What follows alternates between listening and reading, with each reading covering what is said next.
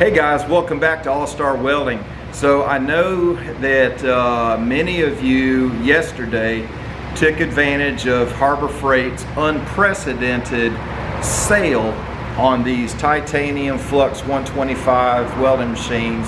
They were uh, on sale for $99 for one day only. They had a limit of two and uh, based on some of the um, uh, Facebook groups I'm on, especially the uh, Harbor Freight Junkies, which if you're not a member, you need to go check it out. Uh, join up. There's a bunch of really great guys on there. But um, um, I don't want you guys, especially if this is your first machine, you've never welded before, you've heard about how easy these are to uh, use. Uh, I don't want you to get frustrated while you're trying to learn. Um, because I want you to take advantage of how wonderful this little machine is. And I'm a professional welder. I weld every day. I have a full-time shop. Uh, I'm mobile. I'm in the shop. I do aluminum, stainless, um, steel, um, you know, you, you name it. And I still use one of these. It is a great machine for uh, just grab, throw it in the back of my truck, run down the street to fix a little handrail that broke off. Or sometimes I got a customer pull up out front, you know, and they'll say, hey Jason, the uh, uh, muffler hanger on my truck broke and, and my muffler is hitting the ground. Can you fix that up real quick? Yeah, sure. I grab this thing, throw an extension cord out there. I got them fixed up in 10 minutes. Um, but I want you to not get discouraged on learning how to use this. So I've got some tips and tricks that we're going to go over and uh, because I want you to get you know a good start, a good footing on uh, using this machine. So we got a lot to go over. So enough of the intro, let's go ahead and get started. Look, one thing that I want to show you really fast, I watch a lot of videos about the, the uh, titanium flux 125 and these guys are doing reviews and the first thing they do is they toss the instructions in the trash can and they don't even cover that there's a switch right here and it'll say cold wire feed. When you're loading your wire in for the first time or you know after your set after your first spool uh, hit this button right here and hold it down and it kills the circuit going to the wire uh, so you don't have an active wire coming out of your gun and it speeds up your drive wheels to load it up really fast. But it's you know nobody ever sees that because they're looking at this right here and they're loading their wire in and all that kind of stuff. But it's right there. And if you read your instruction book it's in there. Okay guys first things first and I cannot stress this enough and I, even when some of the, um, you know, uh, welding students from the local tech school come out to, you know, play, you know, for a day with me, uh, I cannot stress this enough. You have to steady your hand. All right, I don't care if you're doing this, or you're doing this, or you want to do this. Uh, you know, you can squeeze the trigger with this hand and guide it with this hand. You know, whatever. But the thing that you don't want to do is just have your hand floating out here in the middle of space. And uh, um, I know the manual uh, for this probably says have a stick out of a half inch, maybe three quarter, something like that. I want you to see what my what my stick out is, see if it'll focus on that. Uh, let me see. Can you see that? That's about an eighth to a quarter of an inch. That's all I do. And I see people with stick out as far as this, three quarters to an inch. And they got their hand floating out here in space. Let me show you what that looks like.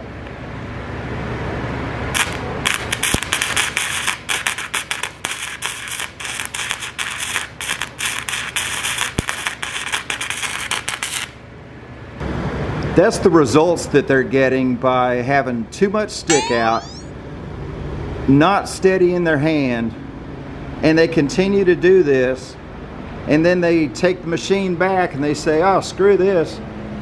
I'm not going to use this machine and they try to take it back to the store and then they find out that there's a restocking fee. So they've already lost 15 20 percent. So and then they you know give up I don't want that to happen to you. Okay so that's my stick out right there. I got about about a quarter inch uh, if you can see that that's about quarter inch. And uh, uh, so I'm going to show you four techniques right here. And and I know I'm not up close to it so I'm going to exaggerate this. But I'm going to go back and forth like this just back and forth and uh, you want to pull you want to drag your uh, torch and then on the next one, I'm gonna go back and forth like this. I'm gonna go forward and then back a little bit, forward and back a little bit, forward and back a little bit. I'm just gonna continue like that. Then I'm gonna show you little circles. I'm gonna go like this, little circles. And then the last, I'm gonna do where I go forward and I wait, and I go forward and wait, go forward and wait. All right, so that's four techniques I'm gonna show you right here. I'm just gonna go ahead and do them and then we'll uh, clean them up and see how they look. And then I want you to notice another thing that I have cleaned, cleaned this. I took the angle grinder with a cutoff wheel and I, I cleaned up the um, uh, metal that I'm working on. Uh, got the, um, uh, you know, got it all shiny the last thing that you want to do is be welding on a bunch of rusty metal. And I'm going to show you what that looks like too. But here we go. We're going to do uh, the back and forth like this.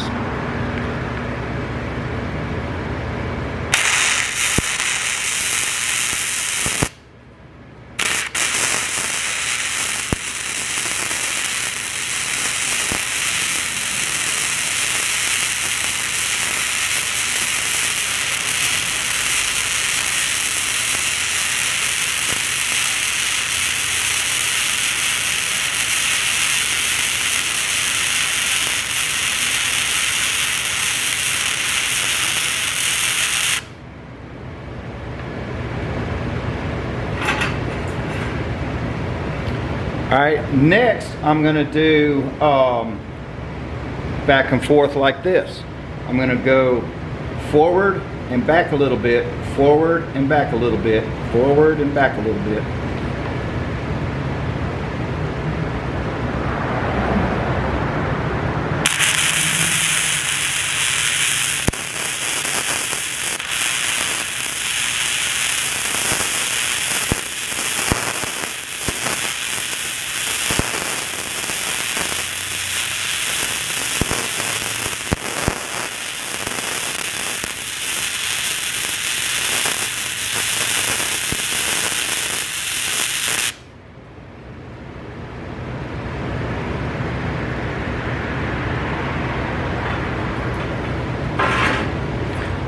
Okay, on our next example, I'm going to do little circles, little circles like this as I go, as I go along. Some people call them little E's, but uh, I just call them little circles.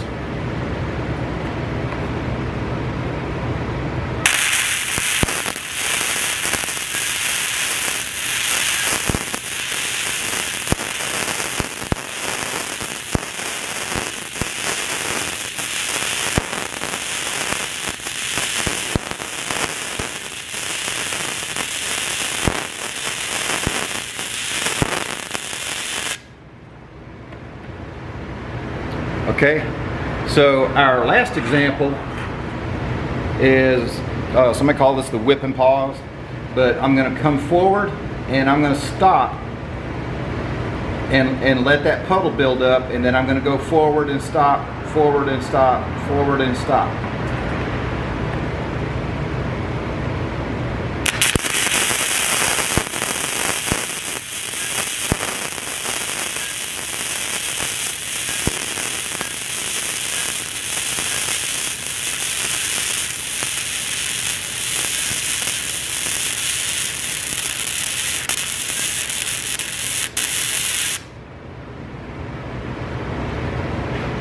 Let me get the uh, uh, wire wheel on the angle grinder clean these up, and let's take let's take a look at them.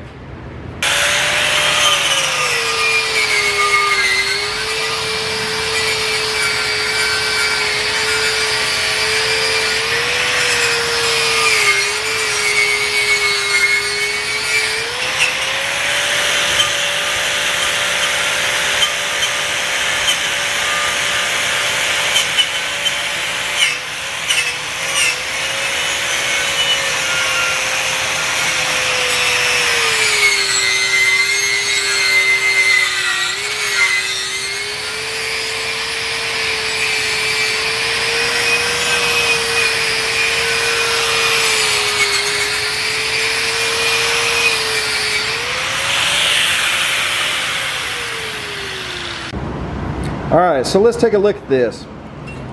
This right here, with the uh, what a lot of people call bubble gum, or they'll call it bird bird poop, bird dew, whatever term you want to use. This is where we did not steady our hand, and we had the stick out about this far. We had an inch and a half of wire sticking out, and we weren't steadying our hand. We just had our working hand out here floating around out in space and it was just going all over the place. That looks horrible. All right, so this one, except for that one little spot right there, uh, this one was the one where I went back and forth. Just back and forth. Made a little Z, Z pattern, back and forth. That looks pretty good. I like it. All right, this one, uh, let me see.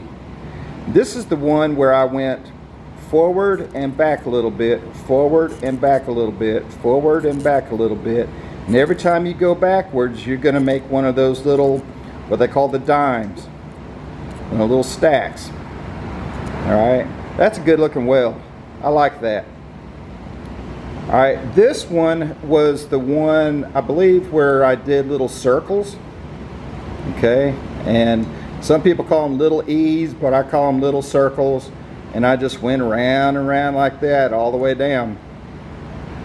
And then this one is the one where I held the trigger down and I go forward and I stop. And I let that puddle build up and I go forward again. Let it build up. Go forward again. Let it build up. Just go forward and stop. Forward and stop. Forward and stop I think they call it whip and pause, but uh, and uh, that's just where I tacked tacked that on. But uh, you know that's some good looking flux core welds, especially that one. I really like that one. Uh, that looks good. That looks good. That looks good. And that looks good.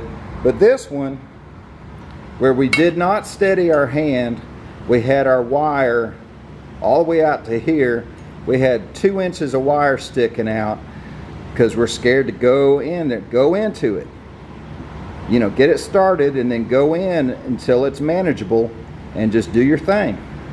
And it's not really that hard. So let me know in the comments below if you like number one, number two, number three, or number four better. Let me know what you think.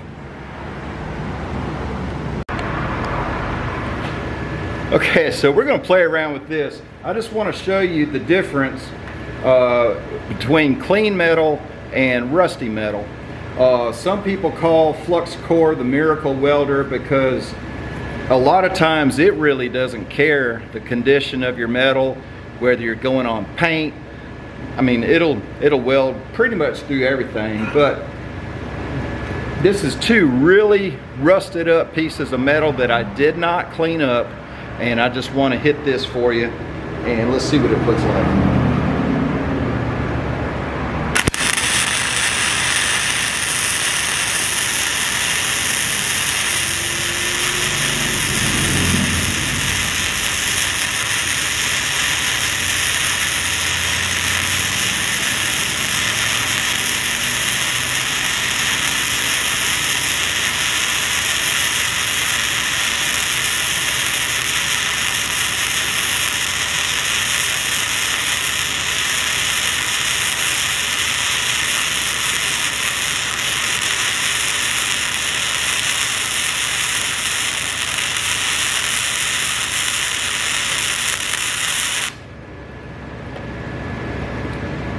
Right, let me get the grinder and clean that up.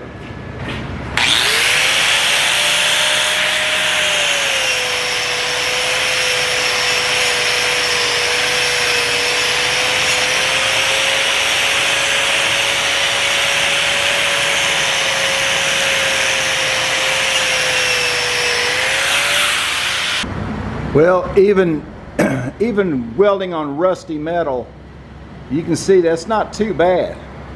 Uh, there is a little spot right there where there's a hole or porosity, but uh, you can kind of expect that with flux core and with dirty metal. But you know what? That's that's still a pretty dang good looking weld. And I want you to notice something else. Do you notice that I don't have like a whole bunch of spatter? I don't have a bunch of BBs laying all over the place. I mean, there's some soot, which you're gonna have with flux core, but other than that, I don't have, I don't have a whole lot of spatter. That's because the wire that you use is um, uh, mainly responsible for that your technique is responsible for that. And uh, the amount of stick out, how close you are to the work, you know, all of that plays a part in uh, how clean your weld is going to be. Uh, anyway, so that was fun, and um, I wish you the very best with your uh, titanium flux 125 and um, um, again it's just a matter of getting out there and using it uh, you know, get in your shop or garage or wherever you're going to use it and just use it. You know, uh, go to the junkyard or the welding shop, uh, scrap yard, wherever, and just get you some steel and just stick stuff together. See what works out for you. See which one of those four techniques works best for you.